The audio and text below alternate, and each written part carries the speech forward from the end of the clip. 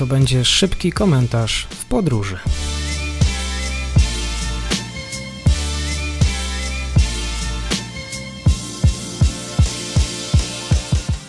Patrycja Mizera. Tadżykistan i Kirgistan zabrały się za ograniczenie czarów i szarlatanerii. Dziś przeniesiemy się do Tadżykistanu i Kirgistanu, które podjęły działania mające na celu ograniczenie czarów i szarlatanerii. Jakie są źródła popularności tego typu praktyk w regionie? Dlaczego oba kraje postanowiły zająć się lokalną ezoteryką? Zapraszam do wysłuchania audycji, która przybliży ten enigmatyczny temat. Posłuchajcie. Na początku przytoczmy najważniejsze informacje o tych krajach. Obie republiki są owocami rozpadu ZSRR z 1991 roku i choć w przestrzeni międzynarodowej funkcjonują jako niezależne państwa, regionalne wpływy rosyjskie nadal są silne. Geograficznie Kirgistan i Tadżykistan leżą w Azji Centralnej, a dominującą religią w tych krajach jest islam. Kirgistan, z populacją liczącą około 6,8 miliona mieszkańców, ma długą historię jako kraj koczowniczych plemion. Ich tradycje, takie jak muzyka, taniec i opowieści, przetrwały do czasów współczesnych.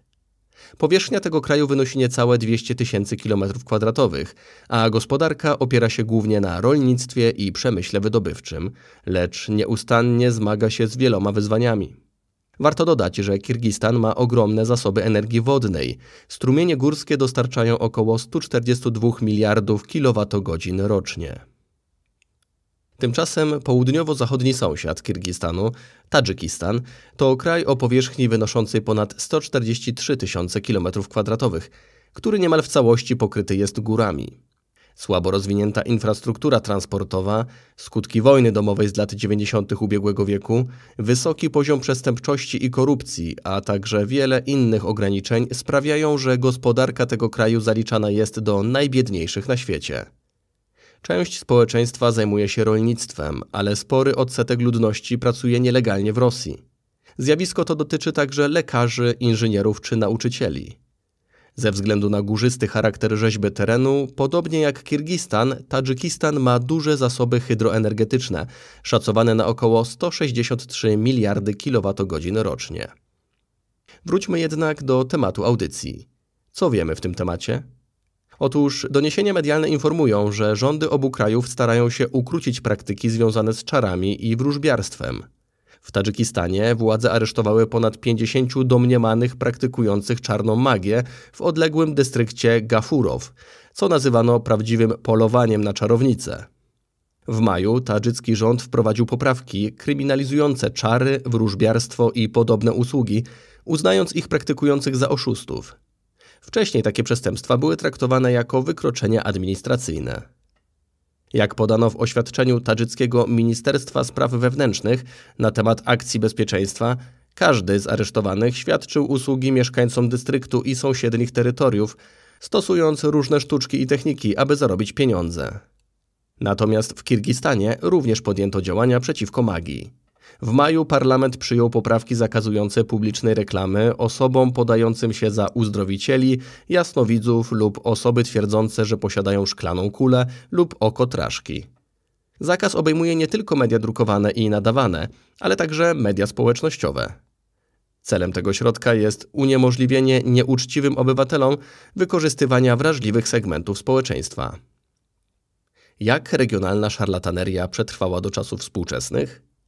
W obu tych republikach praktyki szarlatanerii i czarów były często związane z lokalnymi wierzeniami i kulturą ludową. W przeszłości Tadżykistan był częścią Persji i Imperium Osmańskiego, co wpłynęło na różnorodność praktyk magicznych i wróżbiarskich. Praktyki szamanistyczne, wróżbiarstwo i uzdrawianie były powszechne wśród ludności wiejskiej. Kirgistan zaś ma bogatą historię kulturową, gdzie praktyki magiczne i wróżbiarstwo były obecne przez wieki. W XIX wieku Kirgistan znalazł się pod zwierzchnictwem Chin i Hanatu Kokanskiego, ale Rosjanie również wpłynęli na kulturę i praktyki religijne tego kraju. Kirgizi, jako lud nomadyczny, mieli swoje własne tradycje szamanistyczne i wierzenia w duchy natury. Mimo wprowadzenia islamu, zachowali swoje tradycje i wierzenia, a religia nie ma tak dużego znaczenia jak w innych krajach środkowoazjatyckich. W opracowaniu naukowym pani Danuty Penkali-Gawęckiej z Instytutu Etnologii i Antropologii Kulturowej Uniwersytetu Adama Mickiewicza w Poznaniu, które zostało opublikowane w 2018 roku, znajdziemy analizę ewolucji oficjalnego podejścia do medycyny alternatywnej, między innymi w Kirgistanie, po upadku Związku Radzieckiego.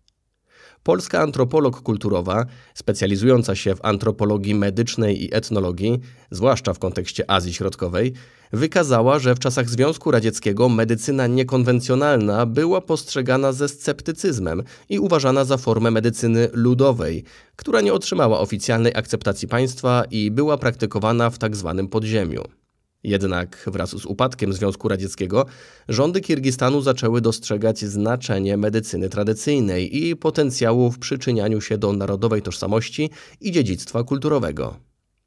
Różni badacze są zgodni, że przyczyną popularności różnych niekonwencjonalnych metod leczenia w regionie oraz powszechnej ich akceptacji był kryzys systemu politycznego i gospodarczego, a także systemu opieki zdrowotnej w schyłkowym okresie sowieckim.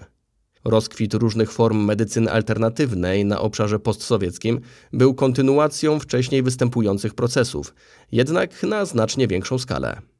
Przyczyniła się do tego przede wszystkim transformacja ustrojowa i głębokie przemiany społeczno-gospodarcze. Po rozpadzie ZSRR nastąpiła kluczowa zmiana. W regionie doszło do pełnego uzewnętrznienia praktyk, np. uzdrowicieli, którzy zaczęli bez przeszkód reklamować swoją działalność w mediach, jak prasa, radio czy telewizja. Warto dodać, że oprócz dbania o dziedzictwo kulturowe, tradycyjna medycyna była postrzegana jako promowanie rozwoju gospodarczego. Obszary wiejskie często miały ograniczony dostęp do nowoczesnej opieki zdrowotnej, a środki stosowane w leczeniu alternatywnym były bardziej dostępne i przystępne cenowo dla lokalnej społeczności. Dziękuję za odsłuchanie materiału. Czytał Sebastian Filipowicz.